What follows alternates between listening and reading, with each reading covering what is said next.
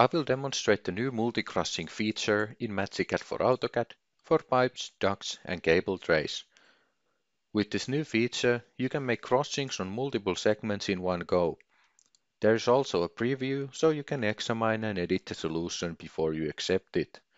Here I have pipes that are going through the duct and I have to reroute the pipes. I start our crossing tool from the ribbon.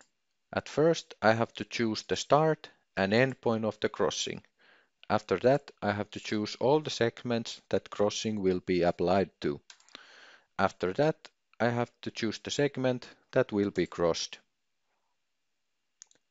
Here you can see the preview of the crossing and you can modify height, add tolerance or change angle to horizontal. You can see the modifications in preview and you can update the preview with this button. When I am satisfied with the crossing, I click OK and it will be updated to my model. With this function, you can make crossings for multiple segments in one go and test different solutions while doing it. Hence time saving, since no need for redoing it due to errors.